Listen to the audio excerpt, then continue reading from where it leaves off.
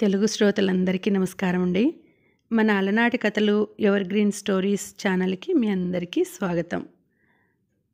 ఈరోజు మరొక మంచి నవలతో మీ ముందుకు వచ్చేసాను అది పెళ్ళి మంటలు రచన పోల్కంపల్లి శాంతాదేవి గారు. ఇక ఆలస్యం చేయకుండా మనం కథలోకి వెళ్ళిపోదాం.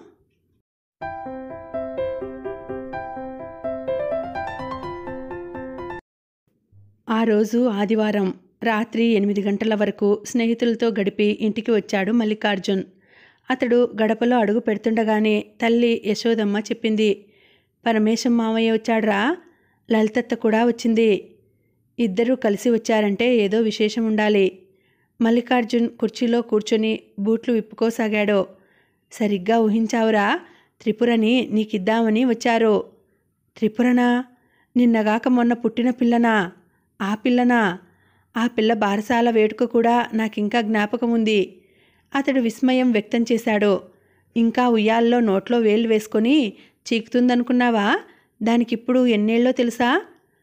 పది వెళ్ళబోతున్నాయి. ఒక రెండేళ్ళలో ఈడేరుతుందని ఈడేరక ముందే పెళ్ళి చేసి కన్యాదాన ఫలం దక్కించుకోవాలని వాళ్ళ తాపత్రయం. ఏమిటో ప్రపంచమంతా మారినా మావయ్య వాళ్ళు మాత్రం మారరు. వాళ్ళ సంగతి వదిలేయి. బొత్తిగా అంత చిన్న పిల్లని ఇరవై రెండేళ్ళ వాడిని ఎలా చేసుకుంటానమ్మా? పన్నెండేళ్ళు ఒక వ్యత్యాసమా మల్లిక్? మీ నాన్నగారికి నాకు పదిహేడేళ్ళు తేడా. మా తరం వాళ్ళ పెళ్ళిళ్ళన్నీ ఇంచుమించుగా ఇలాగే జరిగాయి. అందుకే మీ తరం వాళ్ళలో బోడెమ్మలెక్కువ. ఇలా మాట్లాడితే ఇంకేం చెప్పను? కానీ మగాడి కంటే ఆడది తొందరగా మ్రగ్గిపోతుందిరా. ముఖ్యంగా కాన్పుల వల్ల చాకరీ వల్ల. అందుకే ముప్పై ఏళ్ళ మగాడికి మూడేళ్ళ పిల్ల అన్నట్టుగా చేసేవాళ్ళు. నీ చదువు పూర్తి అయ్యేసరికి నాలుగేళ్ళు పడుతుంది. ఈ నాలుగేళ్ళలో త్రిపుర ఈడేరి కాపురానికి వస్తుంది. చిన్నపిల్ల అని సాకు మాత్రం చెప్పొద్దు. నాలుగేళ్ళ తర్వాత చూశావంటే నీ కళ్ళు చెదిరిపోయేంత అందెగత్తెగా సౌష్ఠవంగా కనిపిస్తుంది. ముఖ్యంగా మా అన్నయ్య కూతురు కాదనకురా? నాలుగేళ్ళ తర్వాతే ఈ పెళ్ళి ప్రస్తావన తెస్తే బాగుంటుంది కదమ్మా. పిల్లకు పదేళ్ళొచ్చాయని అప్పుడే అన్నయ్యకు నిద్ర పట్టడం లేదటరా? ఇంతవరకు ఆ ఇంట ఏ ఆడపిల్లకు ఈడేరాక పెళ్ళి చేయడం జరగలేదు. త్రిపురని వాళ్ళు ఎక్కువ రోజులుంచరు మనం కాదంటే వాళ్ళు వేరే సంబంధం చూసుకొని ఈ సంవత్సరం పెళ్ళి చేసేస్తారట. కొన్నాళ్ళయ్యాక చూద్దాంలే అమ్మా. కొన్నాళ్ళయ్యాక చూసేందుకేమీ ఉండదురా. ఏ సంగతి ఇప్పుడే చెప్పాలి. అన్నయ్యకి ఒక్కతే ఆడపిల్ల. కావలసిన వాళ్ళకి ఇచ్చుకోవాలని ఆయన తాపత్రయం. మనం కాదంటే చాలా బాధపడతాడు. పుట్టింటి పసుపు కుంకుమ ఆశపడేదాన్ని.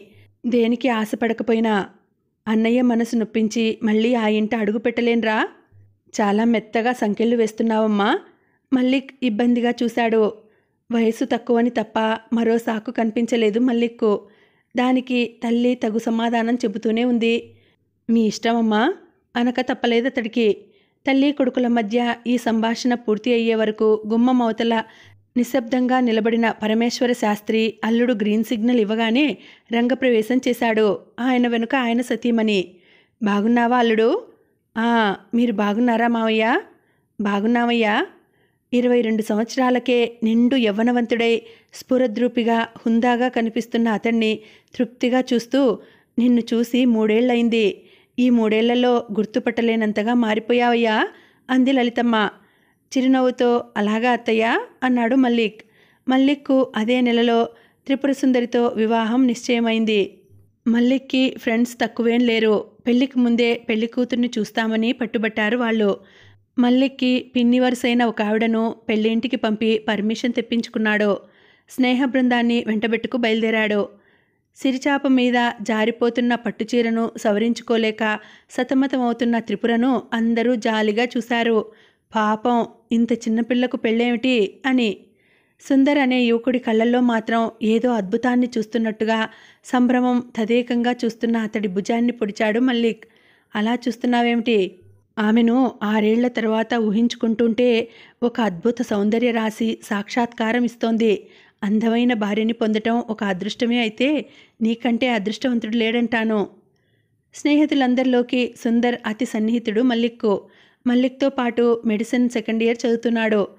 కలవాళ్ళకి ఒక్కగానొక్క అబ్బాయి మంచి భావకుడు బొమ్మలు గీస్తూ ఉంటాడు. సితార్ మెటుతూ అతడు పాటలు పాడుతుంటే స్నేహితులు తన్మయులై వింటుంటారు. అందాన్ని ఆర్తిక వెతుకుతుంటాయి అతడి కళ్ళు. మరో స్నేహితుడు అన్నాడు బొత్తిగా చిన్నపిల్ల ఈ పెళ్ళికి ఎలా అంగీకరించావో అర్థం కావడం లేదు. అమ్మాయి నీ చేతికి అందడానికి ఐదేళ్ళు వెయిట్ చేయాలి నువ్వు. నాతిగల బ్రహ్మచారివి ఈ రోజు నుండి. నాకు ఇష్టం లేదు. మా అమ్మ బలవంతం ఇది. నాకు బయటి సంబంధం చేయడం ఇష్టం లేదు ఆమెకు. అన్నగారికి ఉన్న ఒక్కగానొక్క కూతురు తన కోడలు కావాలని ఆవిడ పట్టుదల. పిల్ల పెద్ద మనిషి అయితే కన్యాదాన ఫలం దక్కుతుందని ఈ సంవత్సరం ఆ పిల్ల పెళ్ళి చేసేయాలని మా మామయ్య పట్టుదల. వాళ్ళ పట్టుదల ముందు తలవంచక తప్పలేదు. ఆశయాలు ఆదర్శాలు అంటూ ఎప్పుడు గొప్పగా లెక్చర్లు ఇస్తూ ఉంటావు. అసలు దగ్గరికి వచ్చేసరికి అంతా ఒట్టిదే. మరో స్నేహితుడు ఎత్తిపొడిచాడు. మల్లిక్ ముఖం బాగా ఎర్రబడింది. ఆమె నాకంటే చిన్నదనేగా మీరనడం ఐదారు సంవత్సరాల తర్వాత మీరు ఈ మాట అనలేరు. అప్పుడే విచ్చుకుంటున్న మొగ్గ మీద గండుతుం మీద దాడి చేసినట్టుగా ఉంటుంది. నీ వయసులో సగం కూడా లేని పిల్లను చేసుకోవడం నాకు మాత్రం చాలా అమానుషం అనిపిస్తోంది. స్నేహితులంతా చాలా అసహజంగా అమానుషంగా భావిస్తున్న ఈ విషయం పెద్దవాళ్ళ దృష్టిలో చాలా మామూలు విషయం. ఎందుకంటే పూర్వపు వివాహాలన్నీ ఇంతకంటే ఎక్కువ తేడాతోనే జరిగేవట. అమ్మ చెప్పినట్టుగా మగవాళ్ళ కంటే ఆడవాళ్ళు ముందుగా యవ్వనం కోల్పోవడమే అందుకు కారణమనిపిస్తుంది. తన వయసులో సగం కూడా లేని పిల్లని చేసుకోవడం స్నేహితుల దృష్టిలో అనాగరికంగా కనిపించడంతో ఈ పెళ్ళి ఎందుకు చేసుకుంటున్నానా? చేసుకున్న స్నేహితులని ఎందుకు పిలిచానా అని పశ్చాత్తాపడసాగాడు మల్లిక్. మల్లిక్ బాధతో కానీ స్నేహితుల విమర్శలతో కానీ సంబంధం లేకుండా పెళ్ళి జరిగిపోయింది. రెండేళ్ళు గడిచాయి. ఒకరోజు తల్లితో చెప్పాడు మల్లిక్ త్రిపురని ఇక్కడికి తీసుకురా అమ్మా త్రిపురని చదివిద్దాం. చదువు సంధ్య లేకుండా ఆ పల్లెటూళ్ళలో ఇంకా ఉంచడానికి వీల్లేదు. కార్యం కాకుండా పిల్లని ఎవరు పంపిస్తారా? అయినా ఇప్పుడు చదువులెందుకు ఆ పిల్లకు? అని అడిగింది యశోదమ్మ. ఇంకో రెండేళ్ళలో నేను డాక్టర్ని కాబోతున్నాను. డాక్టర్ గారి భార్య ఒట్టి పల్లెటూరి గబ్బిలంలా ఉంటే ఏం బాగుంటుంది? త్రిపుర కనీసం బిఏనన్నా చేయాలమ్మా? పెళ్ళాన్ని చదివించుకోవాలని నీకంత ఉబలాటంగా ఉంటే చదివించు కానీ దాన్ని బడికి పంపడానికి మాత్రం నేను ఒప్పుకోను. ఇంట్లోనే టీచర్ను పెట్టి చదివించు. త్రిపురని తీసుకురావడానికి మల్లికే వెళ్ళాడు. పిల్ల పెద్ద మనిషి కాకుండానే అత్తవారింటికి పంపడానికి ఒక పట్టాన ఒప్పుకోలేదు త్రిపుర తల్లిదండ్రులు. బొత్తిగా అక్షరజ్ఞానం లేని అజ్ఞానరాల్ని ఏం చేయలేదు. త్రిపురని అమరం చెప్పాం సంస్కృతం నేర్పాం భారతం భాగవతం చక్కగా చదవగలదు. ఆ స్కూల్ సర్టిఫికెట్లు డిగ్రీలు ఇంగ్లీష్ చదువులా ఏం? అన్నారు. పూజారి గారి భార్య సంస్కృతం మాట్లాడితే బాగుంటుంది. డాక్టర్ గారి భార్య ఇంగ్లీష్లో మాట్లాడితే బాగుంటుంది. నా భార్యకు ఏం చదువు వచ్చి ఉండాలో నాకు తెలుసు. మీరు నా మాట కాదనకండి. అని త్రిపురను హైదరాబాద్ తీసుకువచ్చేశాడు మల్లిక్. ఆలస్యం లేకుండా త్రిపురకు చదువు చెప్పడానికి టీచర్ని ఏర్పాటు చేశాడు. రేపు మెట్రిక్ పరీక్ష అనగా రజస్వల అయింది త్రిపుర. దలియం పరిచి పిల్లని మూలకి కూర్చోబెట్టాలి. బంధువులందరికీ కబురు చేయాలి. సాయంత్రం భజంత్రీలకి చెప్పాలి అని హడావిడి పడిపోసాగింది యశోదమ్మ. రేపు పరీక్ష పెట్టుకొని మూలకి కూర్చోబెడతావా? అదేం వీల్లేదు. ఎవరికీ కబురు చేయక్కర్లేదు. స్నానం పోసేసి ఇంట్లోకి రమ్మను అన్నాడు మల్లిక్. ఇదెక్కడి అనాచారం రా నాయనా? ఇంతవరకు ఈ ఇంట్లో ముట్టుమైలే కలుపుకోలేదు. ఇప్పుడు సమర్థమైల కలుపుకుంటానా? అయినా మొదటి సమర్థకి ఎన్ని వేడుకలు చేయాలి? ఎన్ని జాగ్రత్తలు తీసుకోవాలి? వేడుకలంటే జ్ఞాపకం వచ్చింది. మల్లిక్కు పిన్ని కూతురు రజస్సులు అయితే ఎన్ని వేడుకలు చేశారో ఆర్భాటంగా. ఉదయం సాయంత్రం భజంత్రి సాయంకాలం పేరంటం మంగళహారతి ఇచ్చి పాటలు పాడడం నువ్వులు బెల్లం వరిపిండి దంచి ఉండలు చేసి పెట్టడం తెల్లవారక ముందే పసుపు నూనెలతో స్నానాలు చేయించడం బంధువులు క్రొత్త బట్టలు పలహారాలు తేవడం. ఇహ శోభనం రోజు సరే భజంత్రీలు బంధువులను పిలిచి భోజనాలు పెట్టడం. ఓహో మా పిల్లకి ఈరోజు శోభనం అని ఊరంతా చాటింపు చేసినంత ఆర్భాటం చేయడం మల్లిక్కి గుర్తొచ్చింది. విధవ ఆచారాలు ప్రకృతి సహజంగా స్త్రీ పుష్పవతి అయితే ఇన్ని తతంగాలేమిటో అని తిట్టుకున్నాడు. తన భార్య విషయంలో అలా జరగడానికి వీల్లేదు. ప్రతిఘటించి తీర్తాను అని ఖచ్చితంగా నిర్ణయించుకున్నాడు. త్రిపుర రేపు పరీక్ష రాస్తుంది. ఆమె పరీక్ష మానడానికి వీల్లేదు. ఆమెను ఏం తాకకుండా మూలకి కూర్చోబెట్టడానికి కూడా నేను ఒప్పుకోను. అవన్నీ విజ్ఞానం వికసించని కాలంలో ఛాందసులు ఏర్పరిచిన ఆచారాలు. పుణ్యపాప లోకాలు ఉన్నాయని పురాణాలు నిజమని నమ్మే మనుషులు ఏర్పరిచిన ఆచారాలు. శరీరాన్ని ఏ ముక్కకా ముక్క కోసి చూసే డాక్టర్ని నేను. స్త్రీలకి ఋతుస్రావం అయితే ఆమెను తాకకూడని దుర్లక్షణాలేవి ఏర్పడవు ఆమెలో. కనీసం ఆ మూడు రోజులు ఆమెకు విశ్రాంతి కావాలనైనా ఒప్పుకుంటావా లేదా? అని అడిగాడు తండ్రి. అమ్మ బయటనున్న ఆ మూడు రోజులు విశ్రాంతి తీసుకోవడం నేను ఎప్పుడు చూడలేదు నాన్నగారు. డబ్బాల కొద్దీ బియ్యం బాగు చేసి పెట్టేది కట్టల కొద్దీ విస్తళ్ళు కుట్టిపెట్టేది ఇంకా ఎన్నో పనులు కల్పించుకు చేసేది. దేవతార్చన ఉన్న ఇళ్ళలో ముట్టుమైలలు కలుపుకోకూడదురా అనిష్ట కొట్టి ఊడ్చుకొని పోతాం. దేవుడిచ్చిన ముట్లకి దేవుడికి మైల ఏమిటి నాన్నగారు? వితండవాదనలకి జవాబులుండవురా? ఏదైనా ఒక పని చేసేటప్పుడు ఎందుకు ఏమిటి అని అడగడం తప్ప ఏం ప్రయత్నించకుండా పనిచేయటం అజ్ఞాని లక్షణం కానీ విజ్ఞాని లక్షణం కాదు. ఎందుకు ఏమిటి అని ప్రశ్నించకుండా ఏ మనిషి ముందుకు వెళ్ళలేడు. మీరు చేశారని నేను నేను చేశానని నా కొడుకు చేయడమే ఉత్తమ సంస్కారం అనిపించుకోదు. మీరు ఎందుకు చేశారో తెలుసుకొని మీరు చేసింది సరి అని నా మనసుకు తోచినప్పుడే నేను చేస్తాను. మీరు వేద పండితులు శాస్త్రాలను మదించినవారు పురాణాన్ని కంఠస్థం చేసినవారు. ఆ రంగంలో మీరు గొప్పే కావచ్చు కానీ నాకు శిరోధార్యం కావు మీ మాటలు. ఎందుకంటే నేను డాక్టర్ని శరీర శాస్త్రాన్ని చదివినవాడిని నాకు మీ ఆలోచన పద్ధతికి చాలా తేడా ఉంటుంది. మీరు శాస్త్రాల్ని కళ్ళకి తగిలించుకు చూస్తారో. నేను నా శరీర శాస్త్రాన్ని నేను చదువుకున్న విజ్ఞాన శాస్త్రాలను కళ్ళకు తగిలించుకు చూస్తాను. నాకు కనిపించింది మీకు కనిపించదు. మీకు కనిపించింది నాకు కనిపించదు. అని ఒక చిన్న ఉపన్యాసం ఇచ్చాడు మల్లిక్. సంధ్యావందనం మానేశాడు. ఔపోసనం పట్టడం మానేశాడు. మెడలో జంధ్యం కూడా కనిపించడం లేదండి. ఈ మధ్య వీడు బొత్తిగా నాస్తికుడైపోయాడు అని వాపోయింది యశోదమ్మ. అయితే అలా వదిలిపెట్టేసి ఊరుకుంటారా? ఆందోళనగా అడిగింది. డాక్టర్ కదా ఒకరు చెప్పే మాట వింటాడా? తనకే అన్నీ తెలుసు కదా. మా పెదనాన్నగారి కొడుకు ఐఏఎస్ అండి. నుదుట బొట్టు లేనిదే ఆఫీస్కు వెళ్ళడు. పూజాధికాలు పూర్తి చేయందే గంగ ముట్టడు. అంత చదువుకొని అంత పెద్ద ఉద్యోగం చేస్తూ కూడా పూర్వాచారాన్ని తూచా తప్పకుండా చేస్తున్నాడంటే మీకు గొప్పగా కనిపిస్తుంది కానీ నాకు మాత్రం చదువుకున్న మూర్ఖుడనిపిస్తుంది అన్నాడు మల్లిక్. చివరికి త్రిపురని ఇంట్లోకైతే రానివ్వలేదు కానీ పరీక్షలకైతే వెళ్ళకుండా చేయలేకపోయింది యశోదమ్మ. త్రిపుర పరీక్షలు రాసి తీరాలని మల్లిక్ పట్టుబట్టడంతో ఏ వేడుకలు జరపలేదు. కనీసం తల్లిదండ్రులకు కూడా పిల్ల రజస్వల అయిందని తెలపలేదు. మంచి చెడ్డ అంతా మల్లిక్కే వదిలేసి మౌనం వహించారు యశోదమ్మ వాళ్ళు. పరీక్షలన్నీ అయిపోయాక అప్పుడు వ్రాసారు ఉత్తరం మల్లిక్ అత్తగారికి త్రిపుర రజస్వల అయిందని. పిల్లకు ఏ వేడుకలు జరగలేదని ఎంత నొచ్చుకున్నా అల్లుడిని ఏమనలేకపోయారు వాళ్ళు. రెండో సమర్థకి ఊరికి తీసుకెళ్ళి ఐదవ రోజు తర్వాత శోభనానికి ముహూర్తం నిర్ణయించి మల్లిక్ని అతడి తల్లిదండ్రుల్ని రమ్మని కబురు చేశారు పరమేశం వాళ్ళు. కానీ వెళ్ళలేదు. మల్లిక్ మనసులు కలిసి ఒకరంటే ఒకరికి ఇష్టం ఏర్పడినప్పుడే శరీరాలు ఏకం కావాలన్న సిద్ధాంతం ఉన్న అతడు ఈ ముహూర్తాల మీద తనకు నమ్మకం లేదని తమలో ప్రణయం పరాకాష్ఠను అందుకున్నప్పుడే తామే తమ కలయికకి ముహూర్తం పెట్టుకుంటామని వ్రాశాడు మల్లిక్. నెల రోజుల తర్వాత తిరిగి త్రిపుర అత్తవారింటికి వచ్చింది. రెండో సమర్థ పుట్టింట్లో కావడంతో లాంఛనాలన్నీ సక్రమంగా జరిగాయి. పసుపు నూనె రాసుకుని పచ్చగా తేలింది త్రిపుర. సంధ్యా సమయంలో అరవిచ్చుకున్న బొండు మల్లెలా ఉంది. త్రిపురని చూస్తుంటే పెళ్ళి రోజు సుందర్ అన్నమాట జ్ఞాపకం వస్తోంది. ఆ రోజు త్రిపురని ముత్తైదువులు వేళాకోలం పట్టివ్వడం జ్ఞాపకం వస్తోంది. సన్నని పిల్లత మెరసోకినట్టుగా. బొత్తిగా ఈడు జోడు కాదు. పిల్లవాడికి పిడికిటికి చాలదు పిల్ల అని ఒకరంటే పెద్ద మనిషి అయ్యి పిల్లవాడి చెయ్యి పడితే ఇట్టే ఒళ్ళు వచ్చేస్తుంది. ఇద్దరు పిల్లలు పుడితే డ్రమ్ముల్లా ఊరిపోయే వాళ్ళను ఎంతమందిని చూడలేదు.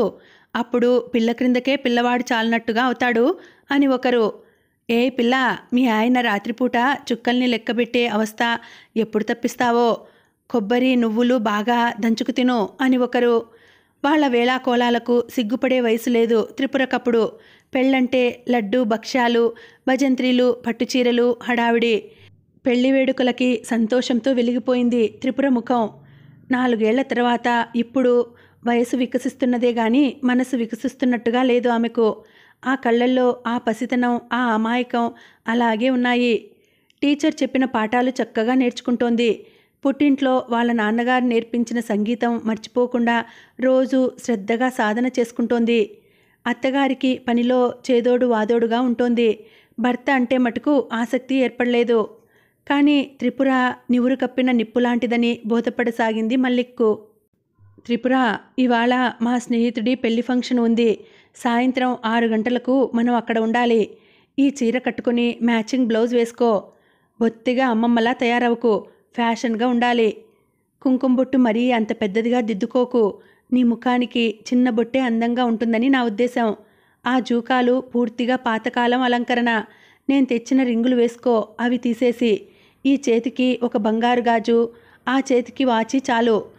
జడ మరీ అంత బిగుతుగా వద్దు. జుట్టు చెవుల మీదకి వచ్చేట్టుగా వదులుగా వేసుకో. త్రిపుర ఎలా తయారై ఉండాలో చెప్పి వెళ్ళాడు మల్లిక్. అతడు వెళ్ళాక అతడు తన కోసం తీసి ఉంచిన చీర విప్పి చూసింది త్రిపుర. దేవతా వస్త్రం. అది కట్టుకుంటే ఒళ్ళంతా బయటే ఉంటుందనడంలో సందేహం లేదు. త్రిపురకి జుగుప్సతో ఒళ్ళు జలధరించినట్టుగా అయింది. చీరని పట్టుకు వెళ్ళి కుప్పగా అత్తగారి ముందు పడవేసింది. అత్తయ్య ఈ చీర కట్టుకొని తన స్నేహితుడి పెళ్ళి ఫంక్షన్కి వెళ్ళాలట నేను చెప్పింది ఫిర్యాదుగా. ఆవిడ నోరు నొక్కుకుంది. ఏ భోగం వాళ్ళో కట్టుకొని కులుకులు వెళ్ళబోసే చీర ఇది. వీడికి మతిగాని పోయిందేమిటి? ఫ్యాషన్స్ పేరిట ఒళ్ళు వీధుల్లో పడేసుకుంటారా ఎవరైనా? వాని మాట ప్రకారం నడుచుకుంటే బొత్తిగా నీకేమీ విలువ మిగలదు.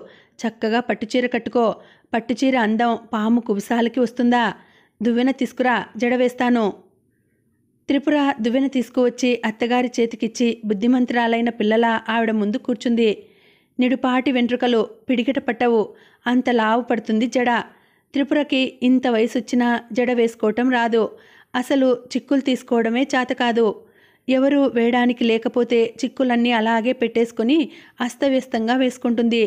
పుట్టింట్లో తల్లి వేస్తే ఇక్కడ అత్త వేస్తుంది జడ. యశోదమ్మ కోడలికి చిక్కులు తీసి జడ వేసి చివరి వరకు అల్లకపోతే వెంట్రుకల చివర్లు విరిగిపోతాయని జడగంటలు కూడా వేసింది.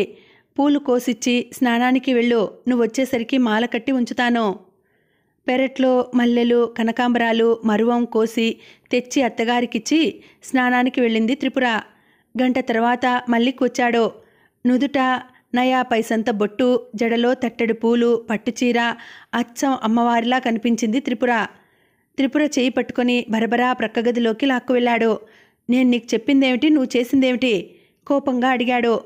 త్రిపుర కళ్ళు క్రిందికి వాల్చుకుందే గాని జవాబు చెప్పలేదు. భక్తుల మధ్యకు పూజలు అందుకోవడానికి బయలుదేరుతున్న అమ్మవారిలా ఉన్నావు. ఒక డాక్టర్ గారి భార్యలా లేవు. అక్కడికి వచ్చే వాళ్ళంతా ఎలాంటి వాళ్ళో తెలుసా? డాక్టర్లు లాయర్లు మాస్టర్ డిగ్రీలున్న వాళ్ళు. వాళ్ళ మధ్యకు నిన్నిలా తీసుకువెడితే నిన్నో జంతువుని చూసినట్టుగా చూడడం ఖాయం. నేను సిగ్గుతో తలెత్తుకోలేను. త్రిపురకి కళ్ళల్లో నీళ్ళు తిరుగుతుంటే అంత బాధెందుకు మీకు? నన్ను తీసుకెళ్ళడం మానేస్తే సరిపోతుంది కదా? అంది. ఎందుకు? నిన్ను నాలుగు గోడల మధ్య బంధించి ఉంచానని బురకా వేశానని బయట వాళ్ళు అనుకోవడానికా నా భార్యని నలుగురిలో త్రిప్పగల సంస్కారం నాకుందని అందరికీ తెలియాలి. నా స్నేహితులందరూ ఎలాంటి వాళ్ళో తెలుసా? భార్యని తమకు సమంగా చూస్తారు ఎక్కడికి వెళ్ళినా వెంట తీసుకువెడతారు. పరాయి మగవాళ్ళతో ఫ్రీగా మసిలేటట్టు చేస్తారు. నిన్ను నా భార్యగా సగర్వంగా పరిచయం చేద్దామనుకుంటే నువ్వేమో అమ్మవారిలా తయారయ్యావు. నిజంగా మీరు సంస్కారవంతులైతే మీ భార్యను బయటవారికి ఉన్నదున్నట్టుగా పరిచయం చేయండి. ఇలా వేషం వేసి తీసుకువెళ్ళడం సంస్కారం అనరు. త్రిపుర మాటలు చల్లున చర్చినట్టుగా అయింది మల్లిక్కు. వాయనం అందుకోవడానికి తయారైన ముత్తైదువులా ఉన్న నిన్ను ఇలాగే వెంటబెట్టుకు వెళ్ళనా వాళ్ళంతా నిన్నో జంతువులా చూస్తారు తెలుసా? నేనేం అంత కాని కోరిక కోరాను? డాక్టర్ని కదా నా భార్య కాస్త ఫ్యాషన్గా తయారు కావాలని కోరుకుంటున్నాను? మీకిది చిన్న కోరికే కావచ్చు. నా మనసుకు నచ్చినప్పుడు మీది చిన్న కోరికైనా ఒక్కటే పెద్ద కోరికైనా ఒక్కటే. ఒళ్ళు సగం సగం కప్పుకోవడం నాకు చేత కాదు. ఆ జడగంటలకి బదులు గుడిగంటలు కట్టుకో ఇంకా బాగుంటావు. కసిగా అన్నాడు మల్లిక్. మీరేమైనా అనండి నేనుండేది ఇలాగే.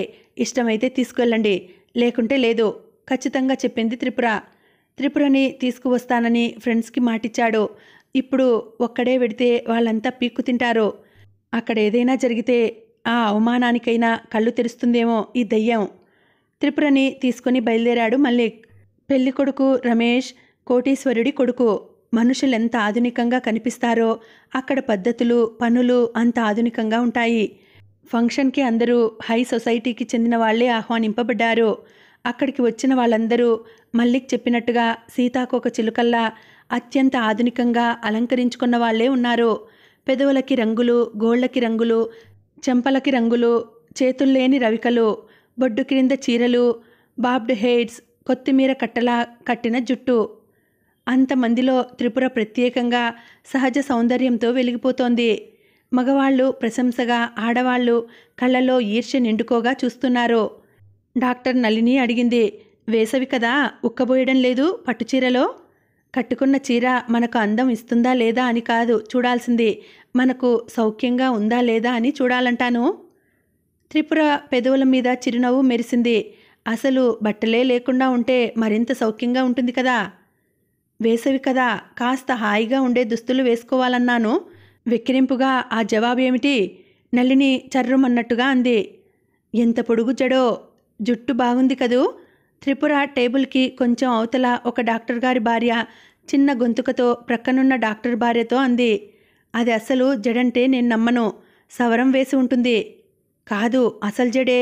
సవరం వేస్తే అంత నీట్గా ఉండదు జడ. బెట్ పది రూపాయలు. కావాలంటే విప్పి చూడు. బండారం బయటపడుతుంది. డాక్టర్ గారి భార్య త్రిపుర దగ్గరికి వచ్చి ఏమీ అనుకోకండి మీ జడ ఒకసారి విప్పి చూస్తాను అంది. ఎందుకు? త్రిపుర తెల్లబోయి అడిగింది. పది రూపాయలు గెలుచుకుందుకు. నా జడ విప్పితే మీరు పది రూపాయలు ఎలా గెలుస్తారు? ఆవిడ పందెం కట్టింది మీది అసలు జడ అని. కాదని మరొక ఆవిడ విప్పి చూపండి. మరొక ఆమె మధ్యవర్తిత్వం స్వీకరించి చెప్పింది. జడ విప్పితే మళ్ళీ వేసుకోవడం నాకు చేత కాదు త్రిపుర ముఖం దిగులుగా పెట్టింది. దువ్వెన తెచ్చి దువ్వి నీట్గా మళ్ళీ నేను వేస్తాను. ప్లీజ్ జడ విప్పరు. నా జడ మీద మీరు పందెం కాయడం నాకు చాలా దారుణంగా కనిపిస్తుందండి. మర్యాదగల మనుషులు చేయవలసిన పని కాదిది. చురుగ్గా అంది త్రిపుర. జడ విప్పడానికి ఒప్పుకోవడం లేదంటే తెలిసిపోవడం లేదు. పది రూపాయలు ఇలాతే ఉన్న జుట్టు మోయలేకే బాబ్డు చేయించుకుంటుంటే సవరాలు ఎలా మోస్తారో బాబూ. ఒక బాబ్డు హెయిర్ అంది. త్రిపుర చుట్టూ ఆడవాళ్ళు గుమిగూడడం మగవాళ్ళకి ఆసక్తి గొలిపింది. మల్లిక్ సుందర్ వచ్చారు. ఏమిటి? మిస్సెస్ రవీంద్ర? మల్లిక్ అడిగాడు. కాస్త జడ విప్పమంటే మీ మిస్సెస్ భలే బెట్టు చేస్తోంది. ఇద్దరూ బెట్ వేసుకున్న సంగతి ఇందాక మధ్యవర్తిత్వం నేర్పినావిడ చెప్పింది. Come on Tripura. వాళ్ళేదో సరదా పడుతుంటే నువ్వు బెట్టు చేయడం బాగాలేదు. జడ నేను విప్పనా? ఈ విషయం సరదాగా తేల్చివేయాలని తెచ్చి పెట్టుకున్న నవ్వుతో అన్నాడు మల్లిక్. వాళ్ళ దృష్టిలో తన భార్య కుసంస్కారిగా ముద్రపడటం ఇష్టం లేదు. మంచి సరసమైన సీన్. మీ భార్య జడని మీరు విప్పుతున్న ఫోటో ఒకటి తీసుకొనివ్వండి. ఫంక్షన్ ఫోటోలు తీయడానికి వచ్చిన ఫోటోగ్రాఫర్ కెమెరాతో ముందుకు వచ్చాడు. నువ్వు తీసే ఫోటో నా భార్యకి జడ వేస్తున్నట్టుగా పడుతుందేమో. మల్లిక్ పెద్దగా నవ్వాడు. నా కేసు సౌందర్యానికి రహస్యం శ్రీవారి చేత జడ వేయించుకోవడమే అని అడ్వర్టైజ్ ఇవ్వచ్చులేండి. మల్లిక్ త్రిపుర జడ విప్పాడో జుట్టంతా వీపు మీద పరుచుకునేలా చేతితో విదిలించాడు సగర్వంగా చూశాడు అందరివైపు త్రిపుర వీపు మీద పరుచుకున్నది జుట్టో జలపాతమో తేల్చుకోలేకపోతున్నట్టుగా చూస్తున్నారు ప్రేక్షకులు. మళ్ళీ మళ్ళీ చూడాలంటే దొరకని దృశ్యం చూస్తున్నట్టుగా చూస్తున్నారు. సుందర్ ఎక్కడి నుండో ఓ కెమెరా పట్టుకు వచ్చి మళ్ళీ త్రిపుర జడ పట్టుకున్నప్పుడు ఓ ఫోటోను ఆమె జుట్టు వీపు మీద పరుచుకున్నప్పుడు ఒక ఫోటోను తీశాడు. ఈ రెండు ఫోటోలకి చక్కటి వ్యాఖ్యలు జతచేసి పత్రికకి పంపి బహుమతి తెచ్చుకుంటాను చూడు అన్నాడు. మీ జుట్టు విషయంలో మీరేం జాగ్రత్తలు తీసుకుంటారు? మిస్సెస్ మల్లిక్? ఒక అంగనామణి త్రిపుర జుట్టుని అపురూపంగా చూస్తూ అడిగింది. ప్రత్యేకంగా జాగ్రత్తలు ఏం తీసుకోను? ఏం షాంపూ వాడతారు? సీకాయ పొడి వాడతాను కొబ్బరి నూనె పెడతాను నా జుట్టు విషయంలో నేనెన్ని జాగ్రత్తలు తీసుకున్నా నన్నొల్లనని వెళ్ళిపోయింది నా జుట్టు. చివరికి ఈ కొత్తిమీర కట్ట మిగిలింది అంటూ రబ్బర్ బ్యాండ్తో కట్టిన నాలుగు వెంట్రుకల్ని చేత్తో ఊపి చూపించింది ఒక ఆవిడ. అంతకు రెట్టింపు జుట్టు నాకుండేది. తలకి పోసుకోవాలంటే నా ప్రాణం మీదకి వచ్చేది. జుట్టు చిక్కులు తీసుకోవాలంటే చేతులు పట్టుకుపోయేవి. ఆ బాధంతా పడలేక జుట్టు బాబ్డు చేయించుకున్నాను అంది మరొక బాబ్డు హెయిర్. అంత జుట్టుని కత్తిరించుకోవడానికి నీకు చేతులెలా వచ్చాయి? కొత్తిమీర కట్ట వాపోయింది. ఒసే సరళా నిన్ను చిన్నప్పటి నుండి నేనెరుగుదును నీ జుట్టు ఇంతకు రెండింతలు ఎప్పుడు ఉంది? ఎందుకొచ్చిన కోతలే? తలంతా పేలతో పుచ్చిపోతుంటే ఆ బాధ పడలేక మీ అమ్మ మంగల్ని పిలిచి గుండు చేయించేది. చివరిసారి పదిహేనేళ్ళప్పుడు చేయించింది గుండు. నీకు జ్ఞాపకం లేదేమో గాని నాకుంది. నీ కుళ్ళు బుద్ధి పోనిచ్చుకున్నావు కాదు. పరువు తీసే మాటలు మాట్లాడకు. ఈ ఫంక్షన్ సరదాగా గడిచిపోనివరా ఏం? అన్నాడు ఆయన వాళ్ళిద్దరూ సిగపట్లకు తయారవుతుంటే. ఆయన త్రిపుర వైపు తిరిగి లోపల డ్రెస్సింగ్ టేబుల్ ఉంది. వెళ్ళి జడ వేసుకోండి అన్నాడు. మర్యాద ఉట్టిపడే స్వరంతో. పర్వాలేదు ఊరికే అల్లుకుంటాలండి.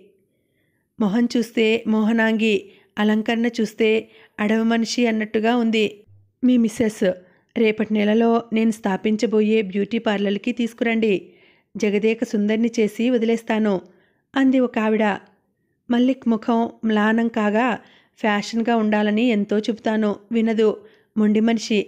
ఈ మనిషిని ఎలా దారికి తేవాలో తెలియడం లేదు నాకు. అన్నాడు బాధపడిపోయి. నువ్వు ఏమనుకోనంటే ఒక మాట చెప్పనా? సుందర్ అడిగాడు. ఏమిటి? అన్నాడు మల్లిక్. సరిగ్గా ఇప్పుడు ఎలా ఉందో అలాగే ఉండనిస్తేనే ఆవిడ అందంగా ఉంటుంది. ఎక్కడ ఏం ముట్టుకున్నా చెడిపోతుంది. ఇంత అందమైన భార్యను పొందిన నువ్వెంతో అదృష్టవంతుడివని మరోసారి చెప్తున్నాను మల్లిక్. ఇందరు ఆడవాళ్ళ మధ్య చుక్కల్లో చంద్రుడిలా ఉందంటే నమ్ము. త్రిపురని ఆరాధనగా చూస్తూ అన్నాడు సుందర్. థ్యాంక్ యూ అన్నాడు మల్లిక్. ముఖంలో గర్వం తొనికిసలాడగా. త్రిపుర చెంపలు ఎర్రబడిపోగా కళ్ళెత్తి ఎవరికేసి చూడలేనట్టుగా తల దించుకుంది. త్రిపుర మీద ప్రశంసలు విమర్శలు ముగిశాయి. ఓ పావుగంటలో డిన్నర్ ప్రారంభమవుతుంది. ఈలోగా ఎవరైనా పాట పాడితే వినాలని ఉంది అన్నాడు సుందర్. మంచి ఐడియా. నాకింతవరకు ఆ ఆలోచనే రాలేదు. రమేష్ ఉత్సాహంగా అన్నాడు. మాధవి గారు మీరు బాగా పాడుతారు కదూ? కాలేజీలో మీరు గాయనిగా చాలా బహుమతులు తెచ్చుకున్నారు అన్నాడు. ఈరోజు మీ భార్య చేత పాడించాలి. నా పాట తరువాత. క్రొత్త పెళ్ళి కూతురు కదా. ఆవిడ్ని ఇబ్బంది పెట్టడం భావ్యం కాదేమో? ఏం షర్మిల? ఆవిడ ఏమంటుందో విన్నావు కదా? ఒక చిన్న పాట పాడేసి ఒక్క పాటకు ఆవిడ చేత పది పాటలు పాడించుకోవచ్చు మనం. జబర్దస్తిగా రమేష్ ఓరగా చూశాడు భార్యకేసి షర్మిల బోలెడంత సిగ్గుపడిపోయింది. అబ్బే నాకు పాడటం రాదు అంది. షర్మిల భర్తకే వినిపించేంత మెల్లగా. ఈ కాలంలోనూ పెళ్ళి కూతుళ్ళు ఇంతగా సిగ్గుపడిపోతున్నారేమిటబ్బా? బోల్డంత ఆశ్చర్యం వెల్లడించింది ఒక ఆమె మా పెళ్ళప్పుడు మేం పది సంవత్సరాల నుండి పరిచయస్తుల్లా మెలిగాం. అందరూ పెళ్ళి కూతుర్లా లేదు పది సంవత్సరాల నుండి కాపురం చేస్తున్న పెళ్ళాన్లా ఉంది అని బుగ్గలు నొక్కుకోవడమే. అంటే పెళ్ళికి ముందే అన్నీ జరిగిపోయాయన్నమాట. మరొక ఆమె భుజం పొడిచింది. పాడండి మాధవి గారు మా ఆవిడ చేత మరోసారి ఎప్పుడైనా పాడిస్తాను. అబ్బే ఆవిడ ఇప్పుడు పాడాలి. పాటల కార్యక్రమం త్వరగా ముగించాలి. ఆత్మారావుడు ఆవురావురమంటున్నాడు. రమేష్ పెళ్ళి పార్టీ జీవితంలో గుర్తుండిపోయేలా ఉండాలని ఉదయం నుండి నేనేం తినలేదు.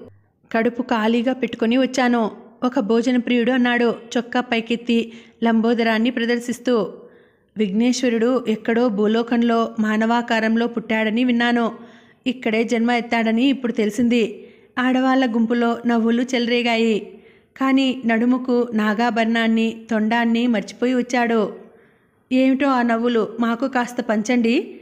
ప్రస్తుతానికి ఆ నవ్వులతో కడుపు నింపుకుంటాం. అసలు సంగతి తెలియని లంబోదరుడు నవ్వుతూ అడిగాడు. ఆడవాళ్ళు ఇంకా నవ్వులు మొదలుపెట్టారు. మాధవి గారు ఒక్క పాట. ఊహు ఇవాళ నేను పాడలేను. మల్లిక్ గారు మీ భార్యకి పాటలు రావా? శాస్త్రీయ సంగీతం వచ్చు ఈ కాలం పాటలు రావు. శాస్త్రీయ సంగీతం ఏ కాలం వారినైనా అలరించగలదు. ఇంతసేపు మాధవి గారి వెంటపడ్డాం మీ మిస్సెస్కు వస్తుందని తెలియదు. సుందర్ ఉత్సాహంతో అన్నాడు. గాబరా పడిపోయింది త్రిపుర. అబ్బే ఇంతమందిలో నేనెప్పుడూ పాడలేదు. అయితే మీరొక్కరూ గదిలో కూర్చుని పాడండి. మేము అవతల గదిలో ఉండి వింటాం. ఊహో శృతి లేకుండా పాడటం అస్సలు రాదు. వీణ మీద పాడగలరా? మా ఇంట్లో వీణ ఉంది. రమేష్ అన్నాడు. త్రిపుర పర్మిషన్ కోసం చూడలేదు. క్షణంలో చిన్న వేదిక తయారైపోయింది. వీణ తెచ్చి అక్కడుంచాడు నౌకరు. వాళ్ళ చేత మళ్ళీ మళ్ళీ అడిగించుకోవడం సభ్యత కాదు. పద ఒక పాట పాడి లే. మల్లిక్ మెల్లగా త్రిపుర భుజం తట్టాడు. ఇంట్లో అమ్మతో కలిసి సాధన చేసుకోవడం ఒకరిద్దరి శ్రోతల ముందు పాడడం తప్ప ఇందరు శ్రోతల ముందు పాడే సందర్భం ఎప్పుడూ రాలేదు త్రిపురకు. ఒక్క నిమిషం భయం వేసింది. పాడగలనా అని. కానీ వెంటనే ధైర్యం తెచ్చుకుంది. పాట మీద లగ్నం చేయగలిగితే ఎందరున్నా భయం వేయదు. రాగసుధా రసపానము చేసి రంజిల్లవే ఓ మనసా! ఆందోళిక రాగంలో పాడింది. సూది పడితే వినిపించేంత నిశ్శబ్దంలో త్రిపుర గానం అమృత వర్షినిలా సాగింది. శాస్త్రీయ సంగీతం అంటే నాకెంత బోరో కానీ త్రిపుర సుందరి గారు పాడుతుంటే చాలా మధురంగా అనిపించింది. శాస్త్రీయ సంగీతం అంటే ఇష్టం ఏర్పడేలా ఉంది ఆమె స్వరం. ఒక ఆయన ప్రశంసించాడు. సంగీతం సౌందర్యం మూర్తిభవించిన స్త్రీని భార్యగా పొందడం నిన్ను మరోసారి అభినందిస్తున్నాను. నాకెందుకో నువ్వంటే ఈర్ష్య కలుగుతోంది. సుందర్ త్రిపుర వంక తన్మయంగా చూస్తూ అన్నాడు. త్రిపుర సుందరి గారిని ఒకసారి మా ఇంటికి తీసుకురావాలి. మా అమ్మగారికి శాస్త్రీయ సంగీతం అంటే చెప్పలేనంత ఇష్టం. ఆవిడకు కొంచెం ప్రవేశం ఉందనుకో సంగీతంలో. ష్యూర్ తప్పకుండా తీసుకొస్తాను మీ ఇంటికి. తన భర్త ఎదురుగానే సుందర్ ఆరాధన పూర్వకంగా చూడడం ప్రశంసల వర్షం కురిపించడం త్రిపురకి ఎబ్బెట్టుగా ఉంది. ఇక్కడ ఎవరి భావాలు దాచుకోకపోవడం సభ్యత కాబోలు. పరాయి మగవాడు భార్యను పొగుడుతుంటే నీ అదృష్టం చూసి ఈర్ష్యపడుతున్నాను అంటే సగర్వమైన హాస్యం పెదవుల మీద మెరిపించడం సభ్యత కాబోలు. కాస్త ఆవిడ చేత ఏదైనా మాట్లాడించరు? బొత్తిగా మూగబొమ్మలా ఉంది. ఒకరు మాట్లాడిస్తే ఎంతవరకు మాట్లాడతారు? నా భార్య కూడా పల్లెటూరి పిల్లే. పెళ్ళైనప్పుడు ఎలా ఉండేదనుకున్నారు? నాతో మాట్లాడడానికే భయపడిపోయేది. సాన పట్టగా పట్టగా ఇప్పుడు చూడండి ఎలాంటి వారొచ్చినా అదరగొట్టేలా మాట్లాడుతుంది.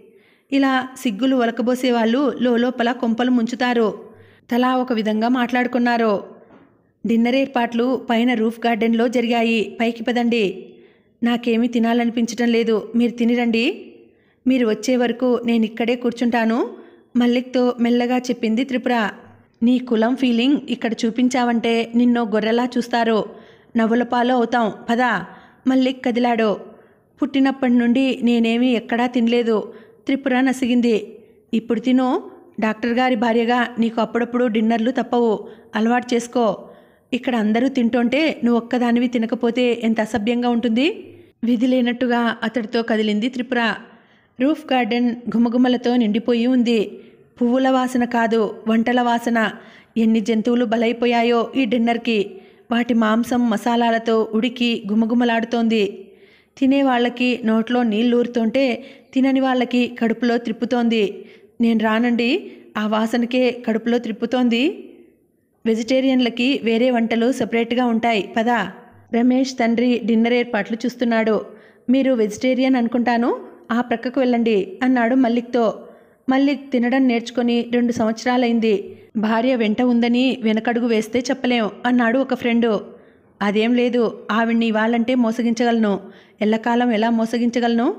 అది ఎప్పుడో ఓసారి తెలుసుకోవాల్సిందే. త్రిపుర నువ్వు అటు వెళ్ళు నేను ఇటు పెడతాను మాంసాహారుల వైపు వెడుతున్న భర్తకేసి స్థానువై చూడసాగింది త్రిపుర. ఉల్లిపాయ వాసన కూడా గిట్టని సద్బ్రాహ్మణుడి కొడుకై ఇంత దిగజారిపోయాడా ఆయన? మీరు ఇటు రండమ్మా. శాకాహారుల వైపు ఐదారుగురి కంటే ఎక్కువ లేరు. అది ఆడవాళ్ళే. స్టీల్ ప్లేట్లలో ఏవేవో వడ్డిస్తున్నారు. తినమని బలవంతం పెడుతున్నారు. తినకపోతే బాగుండదేమోనని మైసూర్ పాక్ బిళ్ళలు రెండు తింది. ఇంకేం తినాలనిపించలేదు. కడుపులో తిప్పుతున్నట్టుగా ఉంది. చూడకూడదనుకుంటూనే అటు చూసింది త్రిపుర. మల్లిక్ చేతిలో ఎముక పట్టుకొని పళ్ళతో పీక్కు తింటున్నాడు. ఇంచుమించు అందరూ అదే పనిలో ఉన్నారు. తమ పొలంలో ఓసారి చనిపోయిన ఎద్దు చర్మాన్ని ఒల్చుకొని కళేబరాన్ని పారవేసిపోయారు ఎవరో. కళేబరాన్ని చుట్టుముట్టిన కుక్కలు ఇలాగే పీక్కు తింటున్నాయి. ఎర్రగా కండలు కండలు. త్రిపురకి కడుపులో తిప్పడం ఎక్కువైపోయింది. బళ్ళున వాంతయింది. అరే ఏమిటి? ఏమైంది? అందరూ గాబరాగా చుట్టుముట్టారు. తిన్న మైసూర్పాకు కక్కేసి ఆయాసపడిపోతున్న త్రిపుర ఏం మాట్లాడలేకపోయింది. చుట్టుప్రక్కల తింటున్న వాళ్ళంతా ప్లేట్లు వదిలేసి చేతులు కడుక్కున్నారు. వేవిళ్ళ చెప్పలేదేం. కంగ్రాచులేషన్స్ మల్లిక్. ఆవిడ్ని క్రిందికి తీసుకువెళ్ళండి. పాపం ఈ వాసనలు పడనట్టుంది. రాజయ్య ఈ టేబుల్ క్లీన్ చేద్దురా. రమేష్ తండ్రి నౌకరికి పురమాయించాడు. ఆ రాత్రి ఇంటికి వచ్చాక కావలసినన్ని చీవాట్లు పెట్టాడు మల్లిక్ త్రిపురను. అందరూ భోజనాలు చేస్తుంటే ఎంత అసహ్యమైన దృశ్యాన్ని కల్పించావు. అందరూ భోజనాల మీది నుండి లేచిపోయేలా చేశావు కదా. ఆ వాసనలు పడలేదు నాకు. నేను అసలు రాననే చెప్పాను కదా. మరోసారి ఇలా పెంకి మాటలు మాట్లాడితే పళ్ళు రాలగొడతాను. నా వెంట రావాల్సిందే. నాకు అనుగుణంగా నడుచుకోవాల్సిందే. ఖచ్చితంగా ఆర్డర్ పారేశాడు మల్లిక్. నేను ఏదైనా భరిస్తానేమో కానీ మీరు మాంసం తింటానంటే మాత్రం భరించలేను. బ్రాహ్మణ పుట్టుక పుట్టి ఏమిటా తిండి? ఏం తింటానో ఏం మానేస్తానో అది పూర్తిగా నా ఇష్టం. నువ్వెవరు చెప్పడానికి? తినడం మానేయడం కాదు. రేపు ఓ కోడిని తెచ్చి వండి పెట్టమంటాను. వండి పెట్టాలి నువ్వు. మీరు తింటేనే సహించలేని దాన్ని. మీకు నేను వండి పెడతానా? అది జన్మలో జరగని పని. అయినా మీరు ఎంత అసహ్యంగా తయారయ్యారు? తినకూడనివి తినడం ఆడవాళ్ళతో రాసుకు పూసుకు తిరగడం మీ భార్యని పరాయి మగాళ్ళతో త్రిప్పడం ఇదంతా నవనాగరికత? మాట్లాడితే సభ్యత సంస్కారాలు అంటారు. వాసనే గిట్టని మీ భార్యతో కోడిని వండించుకు తినడం సభ్యత? అంతా మీరు చెప్పినట్టుగానే వినాలనడం సభ్యత? ఏం మీ భార్య మనసు తెలుసుకొని ఆమెను నొప్పించకుండా తిరగడం సభ్యత కాదా? భార్య అంటే మీ బండికి కట్టిన ఎద్దు ఏదో అయినట్టు ఆమె మీద అధికారం చెలాయించడమేనా సంస్కారం అంటే? త్రిపుర నదురు బెదురు లేకుండా ఎదురు ప్రశ్నించింది. నీ భర్త డాక్టర్ సమాజంలో అతడికి ఒక ఉన్నత స్థానం ఉంది. అతడిని అనుసరించి నడుచుకోవడం భార్యగా నీ ధర్మం. కానీ నిన్ను అనుసరించడం నా ధర్మం కాదు. అయినా నా వయసులో నీ వయసు ఎంత నా అనుభవంలో నీ అనుభవం ఎంత నాకు తెలిసిన దాంట్లో నీకు తెలిసిందెంత? సగం కూడా లేవు. అలాంటప్పుడు నా అధికారం ఒప్పుకోవడంలో నామోషి ఏం లేదు నీకు. సంసారంలో చెరిసగమే కదా. నేను లేనిది మీరు లేరు. మీరు లేనిది నేను లేను. అలాంటప్పుడు నా మీద మీ అధికారం ఎంతుంటుందో మీ మీద నా అధికారం అంతుండాలి. వయసులో చదువులో తెలివిలో మీరు ఎక్కువ ఉన్నంత మాత్రాన నేను మీ క్రింద పడి ఉండాల్సిన అవసరం లేదు. అడుగడుగున ఇలా ధిక్కరించే నీతో నేను కూడా కాపురం చేయలేను. నేను నచ్చినప్పుడు నువ్వు నీ దారి చూసుకోవచ్చు. మల్లిక్ కూడా తన అభిప్రాయం ఖచ్చితంగా చెప్పేశాడు. మరునాడు ఉదయమే అత్తగారితో చెప్పింది త్రిపుర. మా ఊరికి పంపించేయండి అత్తయ్య నన్ను. ఎందుకే? ఏం జరిగింది? మీ డాక్టర్ కొడుక్కి నేను తగిన భార్యని కాదు తగిన భార్యని చూసుకుంటారేమో. నన్ను పంపించేయండి. వాడు తగిన భార్యను చూసుకుంటే నువ్వు తగిన భర్తను చూసుకుంటావా? యశోదమ్మ కటుస్వరంతో అడిగింది. అత్తయ్య ముళ్ళు అరిటాకు మీద పడ్డా అరిటాకు ముళ్ళు మీద పడినా? అన్నట్టు తప్పు అతడిదైనా నీదైనా చెడిపోయేది మాత్రం నువ్వే. నువ్వు తొలగిపోతే వాడు మళ్ళీ పెళ్ళి చేసుకుంటాడు సుఖపడతాడు. కానీ నువ్వు మనసులో కూడా ఆ భావం రానియని సాంప్రదాయ కుటుంబంలో పుట్టి పెరిగిన పిల్లవు. జీవితం నాశనం అయ్యేది నీదే కదా. త్రాగుబోతులతో కూనీకోర్లతో వ్యభిచారులతో కాపురం చేసే భార్యలున్నారే అంతకంటే హీనమవుతోందా నీ కాపురం? వాడు డాక్టరు వాడివి మొదటి నుండి పెద్ద పెద్ద పోకళ్ళు. గొప్ప గొప్ప వాళ్ళతో స్నేహాలు చేసుకోవడం వాళ్ళలాగా గొప్పగా బ్రతకాలనుకోవడం వాడికి అలవాటు. వాడి మనసు గ్రహించి వాడికి నచ్చినట్టుగా మెలిగితే నీ ముల్లేం పోయింది? కొంతకాలం ఓపిక పట్టి వాడు చెప్పినట్టుగా నడుచుకుంటే ఆ తర్వాత జీవితమంతా నీ మాట వాడు వినే అధికారం సంపాదించుకోవచ్చు నువ్వు. బ్రాహ్మణుడై పుట్టి మాంసం తినడం పాపం కాదా అత్తయ్య? ఆ తప్పొప్పులు నిర్ణయించాల్సింది భగవంతుడు. నువ్వు నేను కాదు. తల్లిగా నువ్వు ఆయనకి ఏమీ చెప్పలేవా? నేను చెబితే వినే వయసు దాటిపోయిందమ్మా. వాడు చెబితే మేం వినే రోజులివి. మల్లిక్ ఎక్కడికో బయలుదేరుతున్నాడు. గడపలో కాలు తీస్తుంటే సుందర్ కారు దిగాడు. అరే ఎక్కడికో బయలుదేరుతున్నావు? పని మీద పెడుతున్నాను నేను ఒక పని మీదనే వచ్చాను. ఏమిటి? త్రిపుర సుందర్ గారిని తీసుకువస్తానని అమ్మకు మాటిచ్చి వచ్చాను. తీసుకెళ్ళు దానికేం? నువ్వు వస్తే బాగుంటుంది తనొక్కతి ఎలా వస్తుంది? రావడానికేం? కారులో తీసుకెళ్ళి కారులో దించేస్తావు. అడిగి చూడు మరి వస్తుందేమో. రెండు గంటల తర్వాత క్షేమంగా దిగబెడతాను. మళ్ళీ లోపలికి వెళ్ళి త్రిపురతో చెప్పాడు నిన్ను తీసుకువస్తానని సుందర్ వాళ్ళమ్మకు మాట ఇచ్చాడట.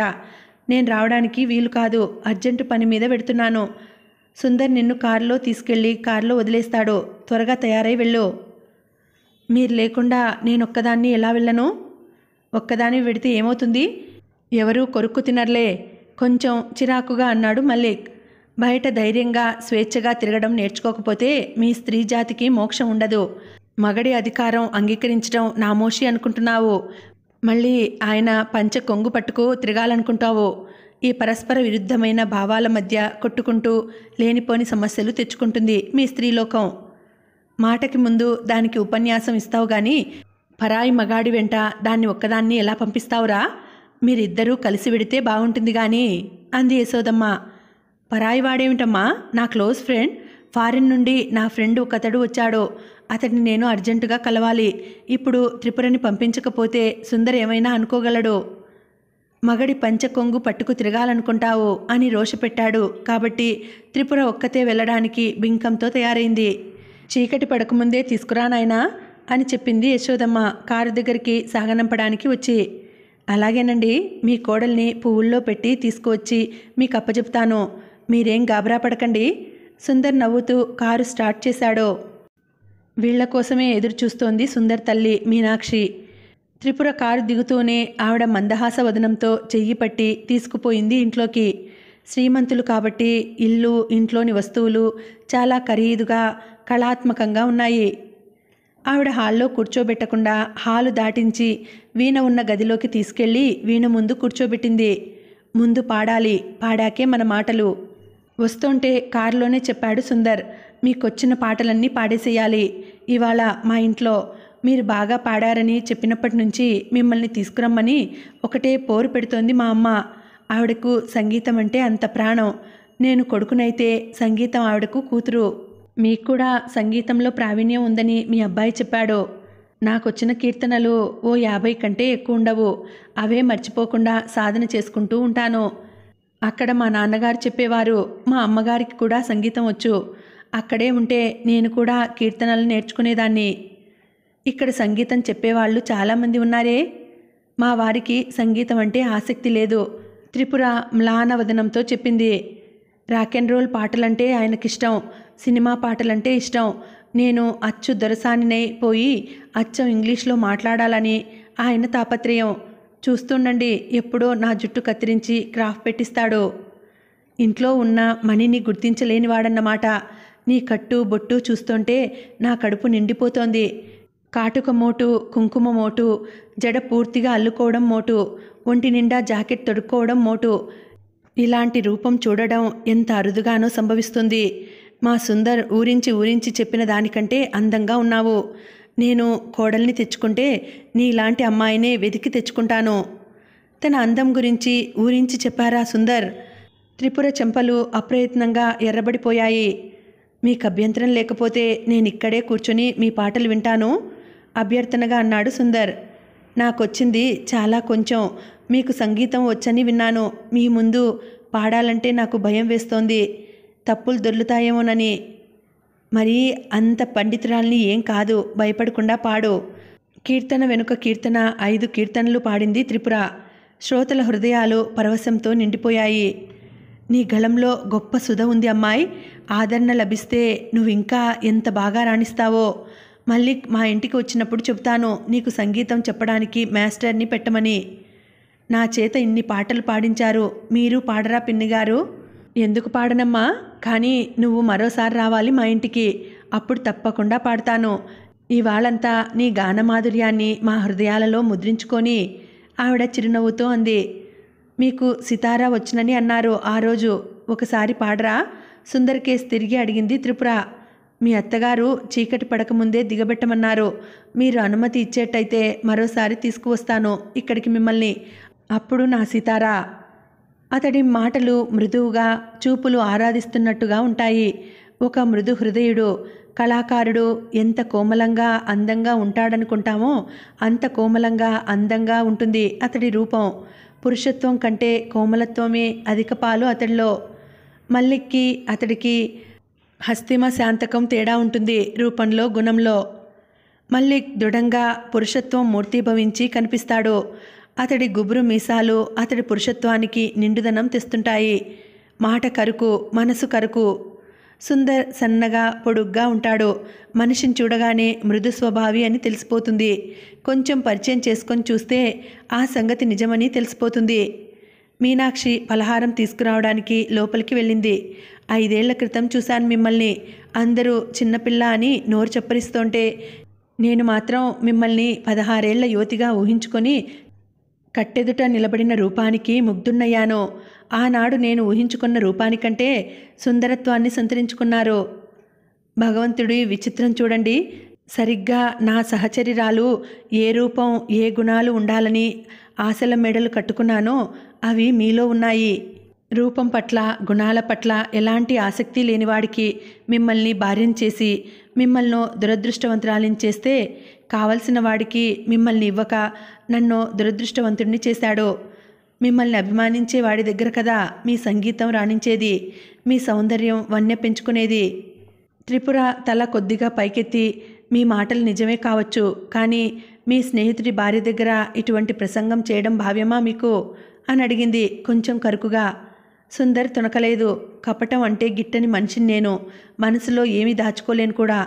నా మనసు విప్పి బరువు దించుకోవటానికి ఇంతకంటే మంచి అవకాశం రాదేమో?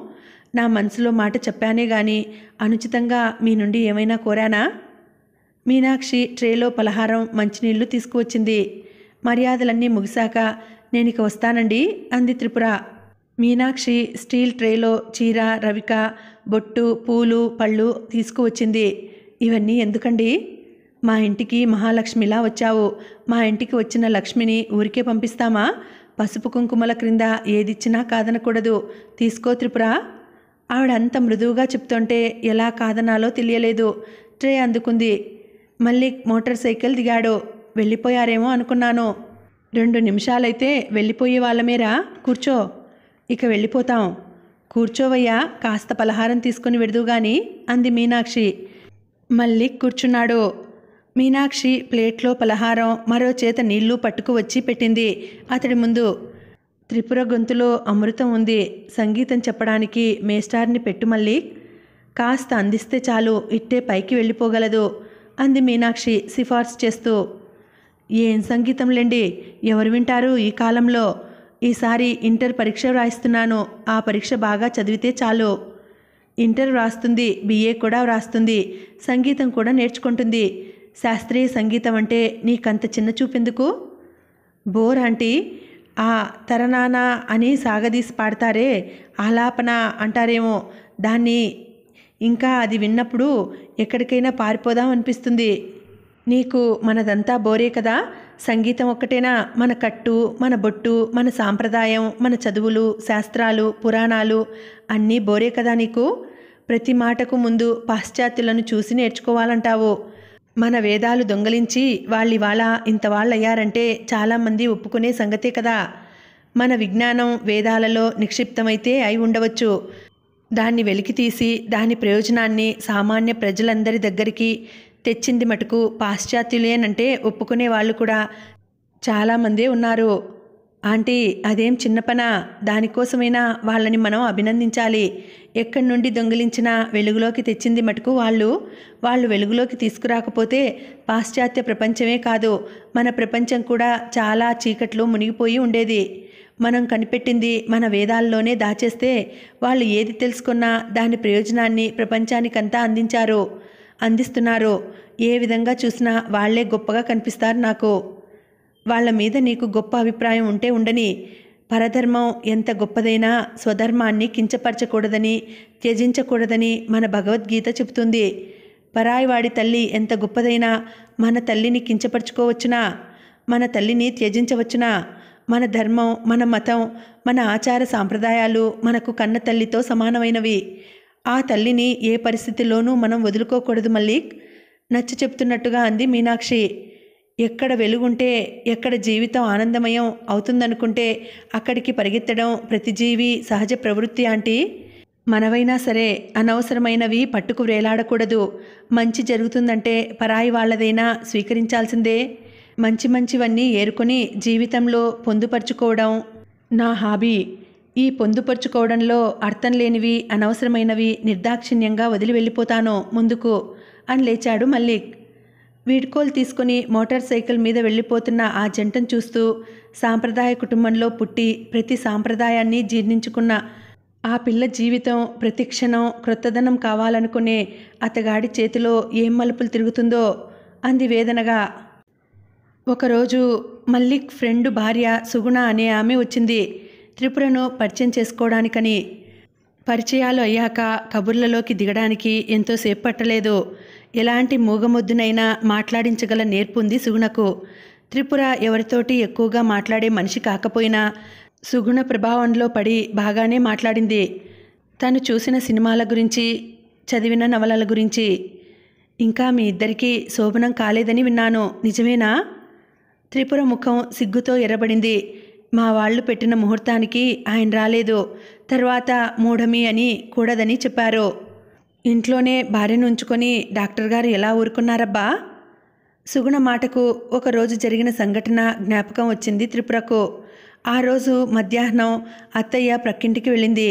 మామగారు భోజనం చేసి వరండాలో చల్లగాలికి పడుకున్నారు. దక్షిణ వైపు గదిలో చల్లగాలికి చాప వేసుకొని పడుకుంది తను. అతడు ఎప్పుడు వచ్చాడో తన మీద చేయి వేశాడో. ఒక్కదానివి ఇక్కడేం పడుకుంటావు? నా గదిలోకి పోదాం పదా.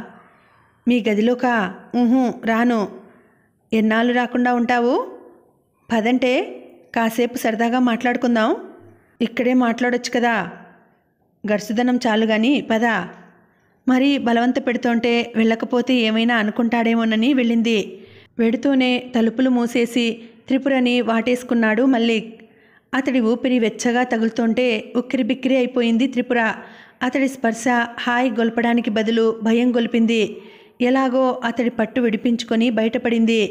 ఆ తర్వాత మల్లిక్ ముఖం రెండు రోజుల వరకు దుమదుమలాడుతూనే ఉంది. ఈ ఇంట్లో మణిలాంటి భార్య ఉండగా మసిబొగ్గు వెంటపడడం ఇంకా మానుకోనట్టున్నాడు మల్లిక్. అనాలనే అని మళ్ళీ నాలుగు ఖర్చుకుంది సుగుణ. ఇప్పుడన్నదానికి అర్థమేమిటో చెప్పందే విడవను. త్రిపుర పట్టుబట్టింది. నేను చెప్పానని ఎక్కడా చెప్పకపోతే చెబుతాను. ఎక్కడా చెప్పను. ఆరు నెలల క్రితం అనుకుంటాను. నేను మా వారు సినిమాకు వెళ్ళాం. అక్కడ మీ ఆయన మరొక ఆవిడతో కలిసి కనిపించారు. శ్రీమత అని అడిగాను. మా వారిని. వాడికంటే పదిహేనేళ్ళు పెద్దది. శ్రీమతి ఏమిటి దాని మొహం. మల్లిక్కి నాయుడు గారి అబ్బాయి ఒక స్నేహితుడున్నాడు.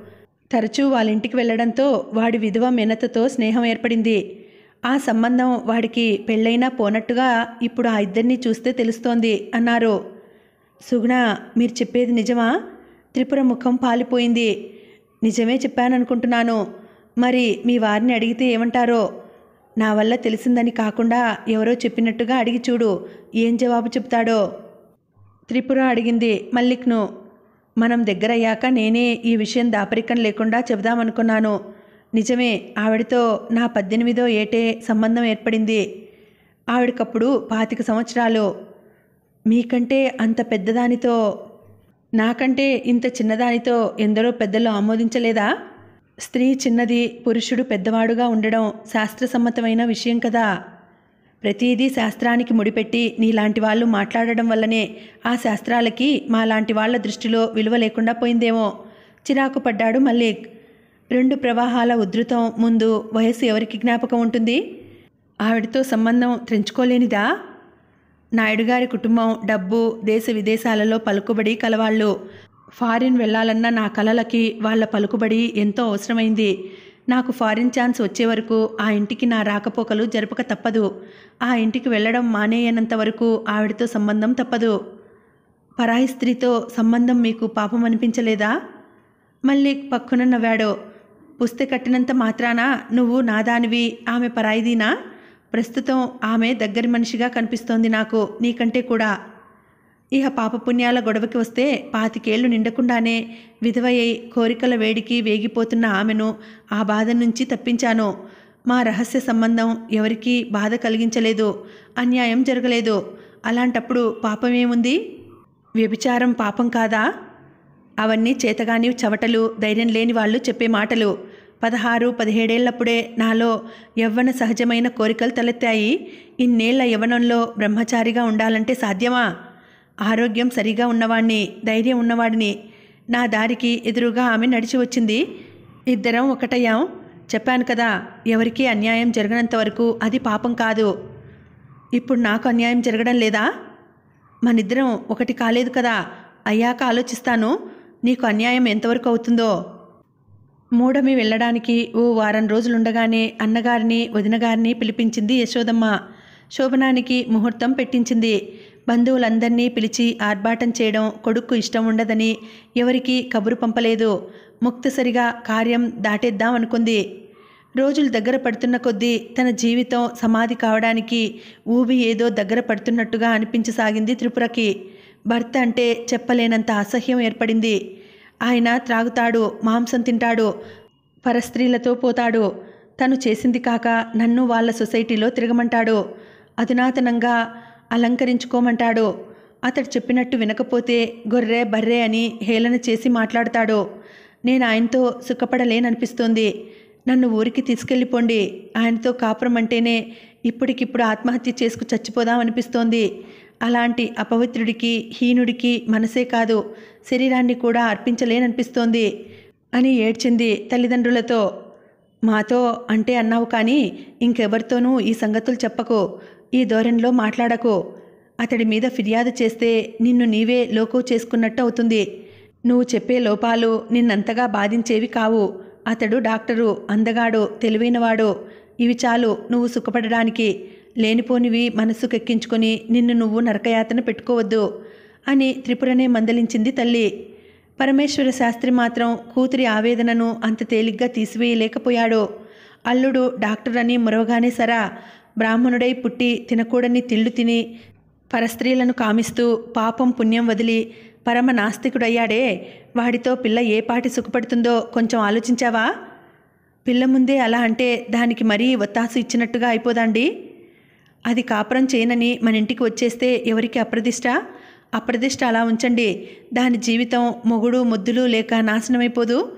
భర్తను చాటుకు లాక్కు వెళ్ళి చివాట్లు పెట్టింది లలితమ్మ. అబ్బాయి డాక్టరు. విదేశానికి కూడా వెళ్ళే ఆలోచనలో ఉన్నాడట. రెండు చేతుల పేరును డబ్బును సంపాదించి దాన్ని మహారాణిలా సుఖపెడతాడు. మనం చూడాల్సింది దీన్నే గాని అతడు చాటుగా ఏం చేస్తే మనకెందుకు? మగవాళ్ళకి చాటుమాటు వ్యవహారాలు లక్ష్యం ఉంటాయి. ఒక మగవాడి విలువ వాటిని బట్టి అంచనా వేయం కదా. అందం హోదా పలుకుబడి సంపాదన ఇవే కదా చూసేది. వీటిని బట్టి చూస్తే మన అమ్మాయికి ఏమిటి తక్కువ?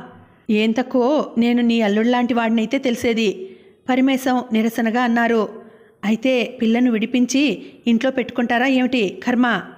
విడిపించి ఇంట్లో ఉంచుకోవడానికి కాదు దాని బాధను అర్థం చేసుకోమంటున్నాను అంతే. ఏదో ప్రళయం ఊహించుకొని దాని నోరు నొక్కేయడం సబబుగా అనిపించడం లేదు నాకు. నా చిన్నప్పుడు నా మేనత్త ఒక ఆమె సరిగా త్రిపుర పరిస్థితిలోనే చిక్కుకుని ఆత్మహత్య చేసుకొని ఆ బాధ నుండి విముక్తి పొందింది. భర్తతో వేగలేక పుట్టింటికి వస్తే భర్త విడిచిన ఆడదానికి మా ఇంట్లో చోట్లేదు పొమ్మన్నారు మా తాతగారు నాయనమ్మ. నిర్దాక్షిణ్యంగా ఇంట్లోంచి వెళ్ళగొట్టారు. తమ నిర్దాక్షిణ్యత కూతురి కాపురం చెడిపోకుండా నిలుపుతుందనుకున్నారు కానీ ఆమె బ్రతుకునే బలి తీసుకుంటుందనుకోలేదు. ఆమె సరాసరి వెళ్ళి ఊరి చెరువులో దూకి ఎవరికీ సమస్య కాకుండా వెళ్ళిపోయింది. త్రిపురకి ఆమె పోలిక వస్తే నేను భరించలేను. ఆయన కళ్ళలో సన్నటి నీటి తెర మెరిసింది. ఇద్దరు మగపిల్లల తర్వాత త్రిపుర ఒక్కతే కూతురు. మగపిల్లల మీది కంటే ఈ కూతురి మీదే ఆయనకి ప్రాణం. ఆ పిల్ల కాల్లో ముళ్ళు గుచ్చితే విలవిల్లాడిపోయేంత అపురూపం. నా చిన్నప్పుడు మా పుట్టింట్లో మా తాతగారులు కలిసి ఉన్నప్పుడు ఒక మగణ్ణి వదిలేసిన ఆవిడ ఉండేది. దాని మొహానికి ఓ కూతురు కూడా తల్లిదండ్రులు ఉన్నంత వరకు బాగానే చూశారు. వాళ్ళు పోవడంతో అత్తవారింట్లో కంటే అసలు నరకం అక్కడే ప్రారంభమైంది. అన్నదమ్ములు వదిన మరదళ్ళు ఆమెను పెద్ద దాసీలాగా చూసి చాకరీ చేయించుకునేవాళ్ళు. తిండి దగ్గరికి వచ్చేసరికి ఓ ముష్టిదాన్ని చూసినట్టుగా చూసేవాళ్ళు. రోజు తిట్లతో చిత్కారాలతో చావడానికి కూడా లేకుండా పోయింది. ఓ పిల్ల ఉండడంతో సరైన పెంపకం లేకపోవడంతో ముఖ్యంగా తల్లి జీవితం సవ్యంగా లేకపోవడం వల్ల ఆ పిల్ల ఎవడితోనో లేచిపోయింది. దాంతో ఆవిడ గుండె పగిలి చచ్చిపోయింది. అంది త్రిపుర తల్లి అయితే అది తల్లి కాకముందే ఆ బాధ తప్పించడం మంచిది. మీకు నిజంగా పిచ్చి పట్టింది.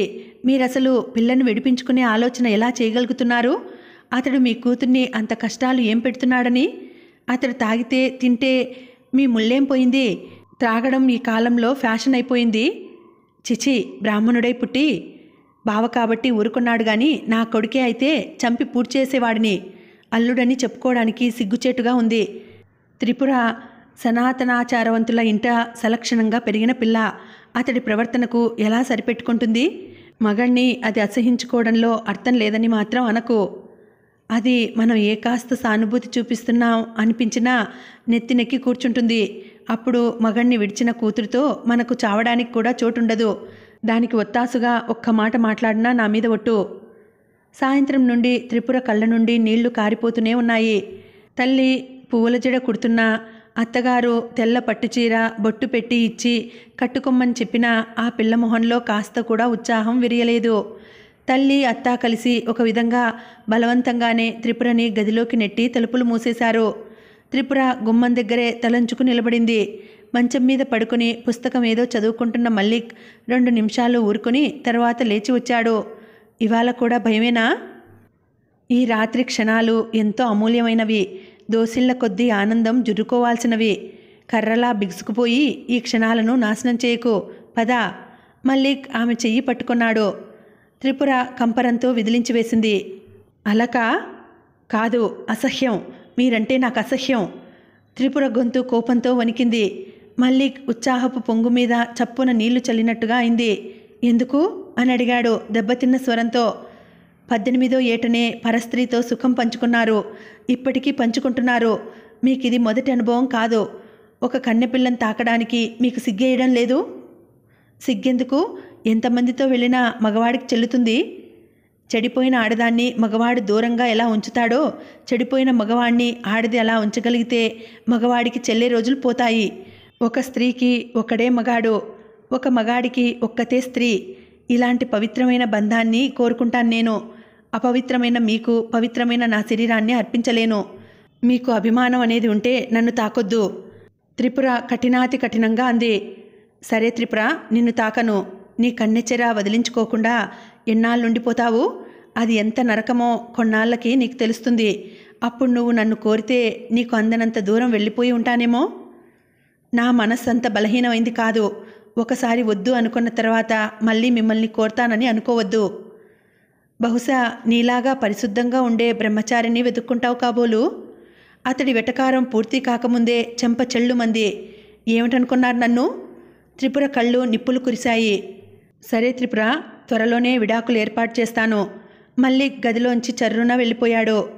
త్రిపురని గదిలోకి త్రోసి తలుపులు మూసిన తల్లి అత్త గుండెల మీది బరువు దింపుకున్న ఆనందం పది నిమిషాలు కూడా నిలవలేదు. మళ్ళీ గదిలోంచి దూసుకువచ్చి బయటకు వెళ్ళిపోతుంటే నెవరపోయి చూశారు.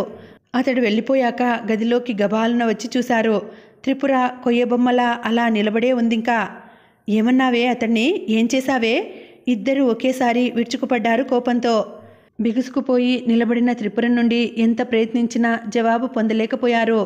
మరునాడు ఉదయం పది గంటలకు ఇంటికి తిరిగి వచ్చిన మల్లిక్ త్రిపురని తీసుకెళ్ళండి మావయ్య ఆమెను ఇక్కడ ఉంచడం అనవసరం అని చెప్పాడు. ఆయన ముఖం వివరణమైంది. ఎందుకు? ఏం జరిగింది? అని అడిగాడు. నాకు మరొక స్త్రీతో సంబంధం ఉన్నమాట నిజమే. ఆ కారణంగా పరిశుద్ధురాలైన మీ అమ్మాయిని నేను తాకడానికి అనర్హుడినట. ప్రపంచంలో ఏ మగాడు తన భార్యతో ఈ మాట పడి ఉండడనుకుంటాను మల్లిక్ శుష్కంగా నవ్వాడు. నాయనా నువ్వు తొందరపడి నిర్ణయాలేం తీసుకోవద్దు. త్రిపురకు నేను నచ్చ చెప్తాను. కొంతమంది ఆడపిల్లలు భయం కొద్దీ ఇలా ప్రవర్తించడం కద్దు. తలుపు చాటున నిలబడి అల్లుడి మాటలు వింటున్న లలితమ్మ ఆత్రంగా బయటకు వచ్చి అంది. చిన్నపిల్ల అయితే భయపడింది అనుకోవచ్చు. పదహారేళ్ళ వయసు అంటే చిన్న వయసేం కాదే? తనకి అన్నీ తెలుసు. తన దృష్టిలో నేను గడ్డి పరికను. వయసు వస్తే మనసు పెరగొద్దా? నేను నచ్చ చెబుతాగా కలవదండి. ఇక మా ఇద్దరికి మా ఇద్దరి ఆలోచనలు అలవాట్లు అభిరుచులు సమాంతర రేఖలు. నాకు అధునాతనం అంటే ఇష్టం తనకు పురాతనం అంటే ఇష్టం. పరిగెత్తే నా ఆలోచనలకు ఆ ముదివగ్గు ఆలోచనలకు అస్సలు కలవదు. తను నాకు అనుగుణంగా నడుచుకునేట్టయితే ఇక్కడ ఉండమనండి లేకుంటే అక్కర్లేదు. క్షణక్షణం ఆవిడతో నరకం పడే కంటే విడిపోయి బ్రతికిపోతాను. నాకు తగిందాన్ని నేను చూసుకుంటాను. ఒక్క మాట అడుగుతాను ఏమీ అనుకోకు మల్లిక్. త్రాగుతావట తినకూడనివి తింటావట? ఆ పిల్ల ఎలా ఓడ్చుకుంటుందో చెప్పు. పరమేశం అడిగాడు.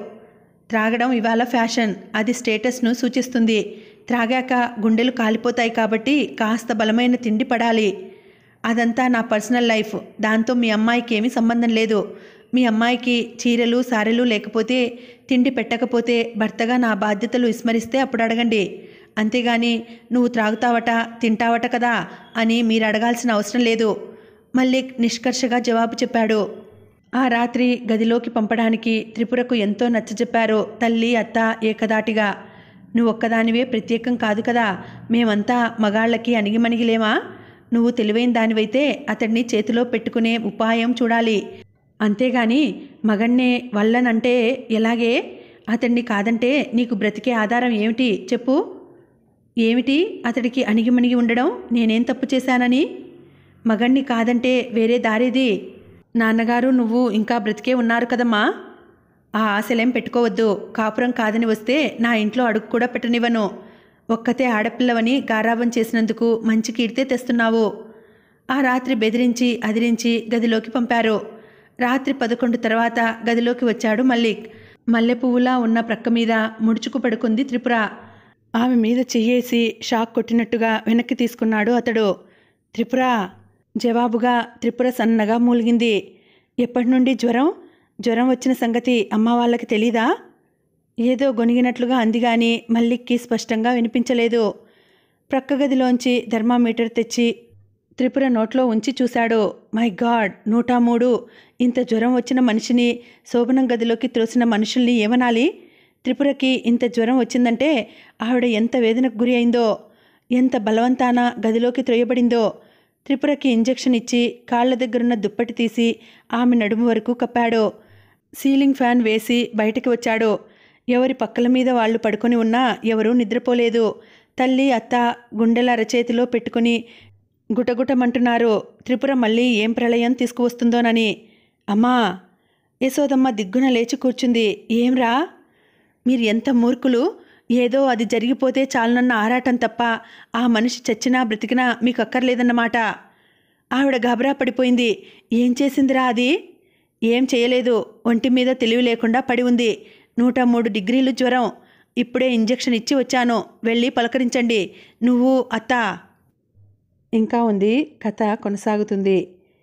ఈ వీడియో మీకు నచ్చినట్లయితే తప్పకుండా ఒక లైక్ చేయండి. అలాగే వీడియోస్ని షేర్ చేయండి. కొత్తవారు ఎవరైనా మన ఛానల్ని చూస్తూ ఉన్నట్లయితే తప్పకుండా సబ్స్క్రైబ్ చేసుకొని చూడండి.